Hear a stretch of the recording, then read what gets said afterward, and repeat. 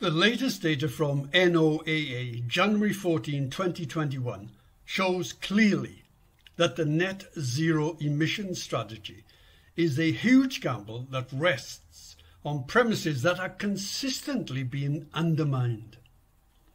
If we look at two key premises that underpin the 2015 Paris Agreement, that the largest contribution to global warming is the atmospheric concentration of carbon dioxide, and that global warming is likely to reach 1.5 degrees Celsius between 2030 and 2052 if it continues to increase at the current rate. Then the latest data reveals both to be fundamentally incorrect. In fact, it shows that for the period 2015 to 2020, carbon dioxide concentration has increased at the fastest rate recorded since the Industrial Revolution, over 3 parts per million per year. For the period 2015 to 2020, global average temperature has slowed to the slowest possible rate of increase the trend being 0.01 degrees Celsius per decade. If the current rate is maintained, then it will take 100 years for global average temperature to increase by just 0.1 degrees Celsius. A quick analysis will demonstrate these conclusions. For an initial sense of perspective, here is the merged ice core record of carbon dioxide concentration since around 1750, the start of the Industrial Revolution. Using the underlying data, we can see the rise in concentration level with the overall positive trend being 0.49 parts per million per year.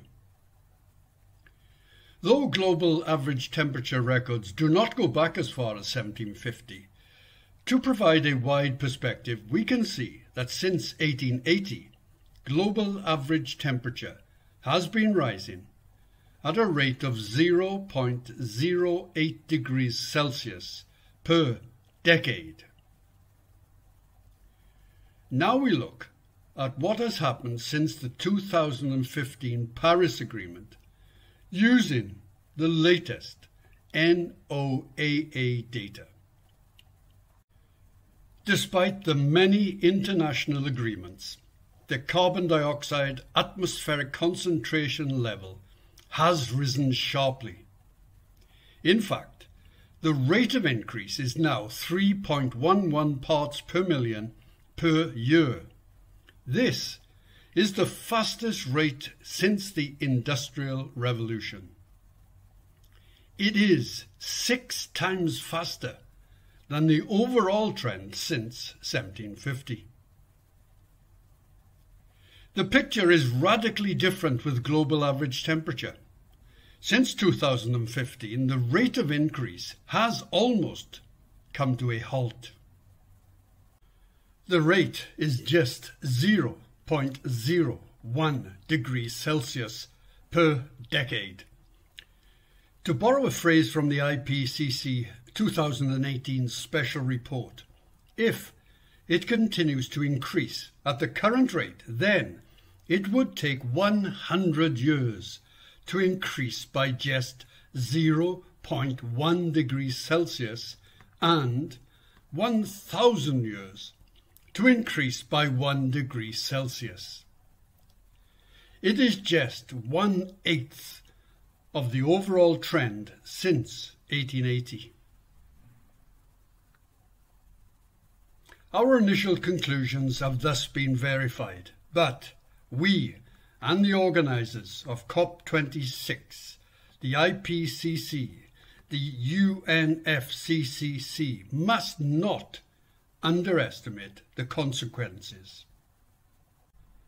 Given the sharp rise of carbon dioxide concentration and the drastic slowing of global average temperature trends over the same period, there must be serious concerns within climate science whether this statement can be true. And given the current rate of increase of global average temperature, this statement is wildly inaccurate.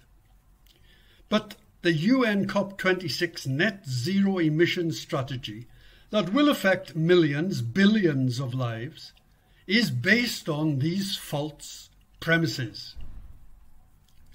All the governing bodies responsible for COP26 are urged to reassess the strategy and the underlying theories, given that the facts have changed.